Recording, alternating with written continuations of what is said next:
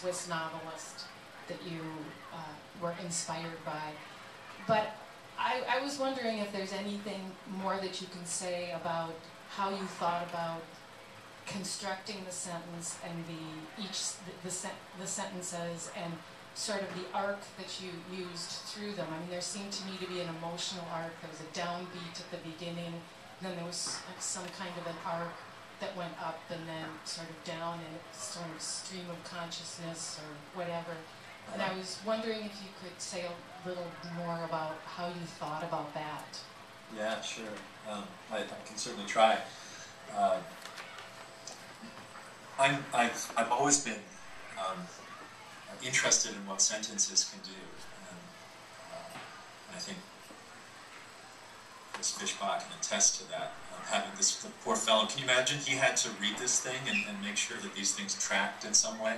Um, I still haven't paid him back for doing such an amazing job in, in editing the thing. Um, but at any rate, I've always been interested in sentences, and they seem like extraordinarily elastic mechanisms, right? You can do all kinds of things with a sentence, and we tend to do just a very little bit with a sentence, in, you know, for practical reasons, I suppose. Um, largely, uh, you know, in our you know spoken spoken language and in written language. Um, but it's you know it's amazing how much you can work into a sentence, uh, and that they are kind of dramatic devices in a way. Uh, you know, you can have, as you put it, sort of a, a, downbeat and something, the, the rising sense of energy within a sentence, and there's can be all kinds of suspense. Where's the sentence going? What's the sort of the money end of the simile, or, whatever it is that you're working with?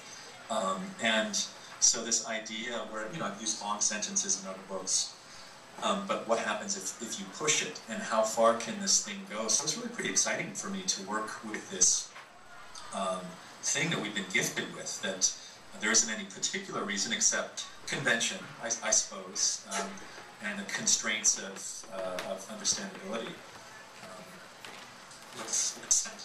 we can, you know, we really can do quite a bit more than we tend to with these things. And I wanted, you know, I, I liked this idea that you could only, you could have um, uh, you could do all the work of a chapter. You could do all the work of, in some senses, a, a short story, like a short short with with a sentence, and that it was powerful enough to to um, house all of that.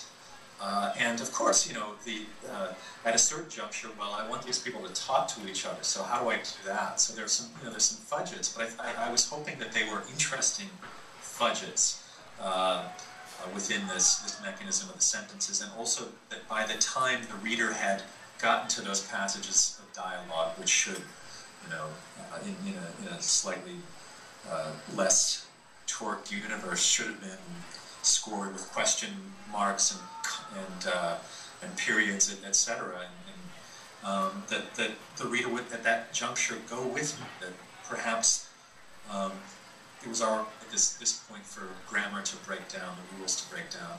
Um, but I also, so, you know, someone, um, the poet Ann Lauterbach, uh, made the comment to me um, about this thing that I was doing. That, that, that what these sentences struck her as were sort of like the buttresses on a cathedral um, that were carrying a tremendous amount of weight or helping support a tremendous amount of, of weight uh, and uh, had their own shape um, and yet they were they were holding this this larger thing that the you know doing the work of carrying the overall story, the overall structure of, of the, the book, and, I, and, and that's been a really interesting way for me to think about it. That they were um, their own entities, but they were constantly serving the uh, the larger structure of, of the novel and the larger sense of, of the story that it was telling and that they would be interwoven again with that idea of someone who's trapped in a sentence, um, and just in the way that